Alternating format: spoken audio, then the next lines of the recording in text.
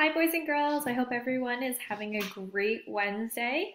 So, boys and girls, we will be starting our next chapter, which is going to be chapter 19. And the first lesson we're going to be talking about today, boys and girls, is plane shapes.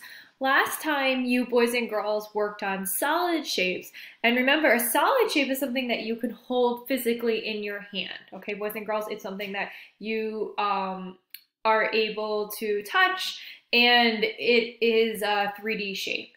Today, boys and girls, we're going to be focusing on plane shapes. Now, plane shapes, boys and girls, are flat, um, and it has length and width, but no thickness.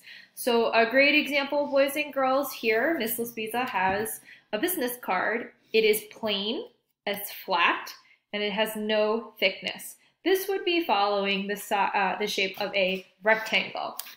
There's also sticky notes, boys and girls, and you know the sticky notes follow the shape of a square. We will be working on these kinds of shapes this week. So we all have a circle, triangle, square, and rectangle. Okay, boys and girls, you already know this from um, previous grades too.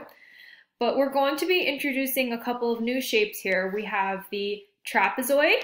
If you notice, there is one, two, three, four sides to a trapezoid. Um, we have a hexagon, which has six sides. And if I were to cut this hexagon in half, it could be a, good, somebody said it, a trapezoid, boys and girls, okay? We will also be focusing on quadrilaterals, which have four sides. So another name for a square is a quadrilateral. Excellent job, boys and girls.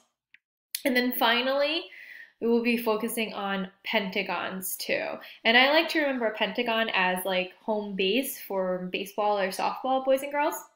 So this is the next chapter and lesson we'll be focusing on. For today, boys and girls, you will be going on a plane shape hunt around your house. Okay, boys and girls? And what you need to do is you're going to take each question and answer it in this box here. You're going to tell me what plane shape is this? I think you boys and girls know what it is. Good, a circle.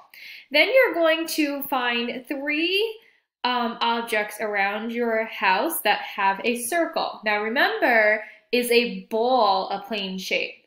No, is a solid shape. So please do not put something like a ball, golf ball, anything like that. Boys and girls, we need to find something plain and flat. So what is something around your house that has a circle shape? You need to find three objects, okay? If you're having trouble finding objects, I suggest at least try finding two and at least doing three. So same thing, you're gonna go around the house and find this plane shape as well as this one. And those two as well, boys and girls.